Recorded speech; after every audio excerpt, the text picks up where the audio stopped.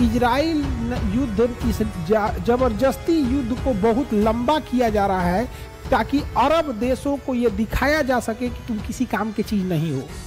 बात समझो, ये नैरेटिव की वार चल रही है कि हम, देखो इजराइल के पास इतना बम है कि मार के एक के दिन में गाजा रफा उड़ा देगा। लेकिन वो जानबूझ के मारता है, बीस गो आदमी को आज मारेगा, दस गो को कल मारेगा, पंद्रह गो को परसों मारेगा, यहाँ वो जानबूझ के this is a narrative war कि तुम कुछ नहीं कर सकते हो, कुछ नहीं। और अमेरिका को आदत है अपना मतलब दबदबा दिखाने का।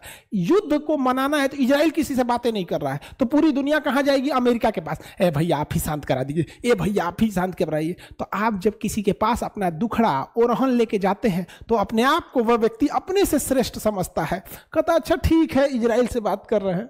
और फिर फ़ोन पर मुस्कुराता है, तब हो चल रहा है ना युद्ध, और मार रहा है वहाँ पे। इससे इजराइल को क्या फ़ायदा है?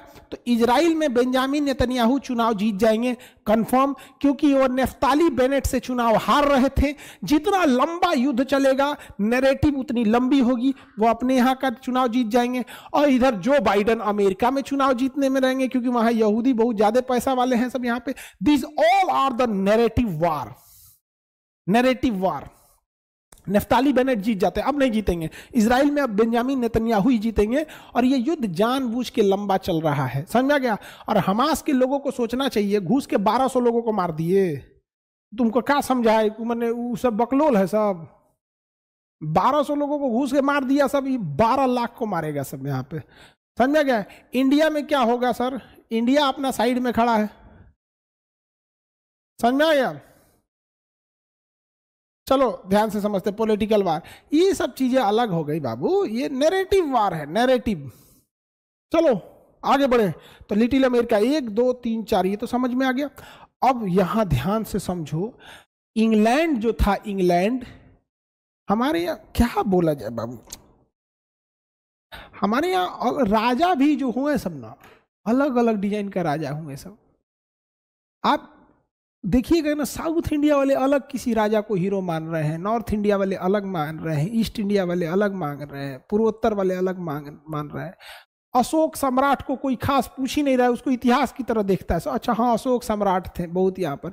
जबकि ब्रिटेन वाले अपने रानी, आप देखिएगा, दुनिया का ऐसा कोई महाद्वीप नहीं होगा, जहाँ विक्टोरिया या एलिजाबेथ का नाम का कोई खाड़ी ना हो, कोई मरुस्थल ना हो, या कोई पहाड़ ना हो यहाँ पर, पूरी दुनिया में यहाँ पर। तो हमारे यहाँ देखिए, यहाँ पे, यहाँ एक पर्वत बना दिया, क्वीन मार्ड पर्वत, क्वीन महारानी के नाम पे बना दिया। देखो, पर लिखो, यहाँ लिखा होगा, क्वीन मार्ड पर्वत। मार्ड पर्वत मिल गया।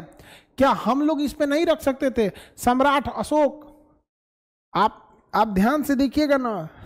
सम्राट अशोक को भले हम लोग कर देते हैं, लेकिन बहुत ज़्यादा सम्राट अशोक को मतलब इतना महान था ही सम्राट अशोक, इतने महान थे कि कोई उनको झुठला नहीं सकता है अशोक स्तंभ से लेके। लेकिन सम्राट अशोक बौद्ध धर्म को मानते थे। सम्राट अशोक किसको मानते? बौद्ध धर्म को।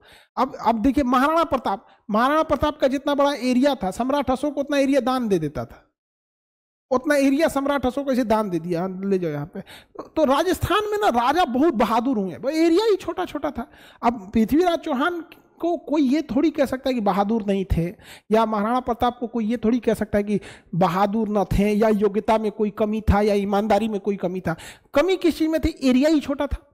अब राजा के लिए एरिया बहुत मायने रखता है। जितना बड़ा एरिया रहेगा, राजा ऑटोमेटिकली उतना शक्तिशाली बना रहेगा यहाँ पर।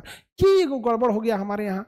अब अशोक जो था, बौद्ध धर्म अपना लिया। अब देखिएगा तो आप, अशोक, हमारे यहाँ सम्राट अशोक अशोक अशोक के नाम पे कोई खास लोग नहीं होते हैं लोग यहाँ पे। समझ गया कि नहीं क्या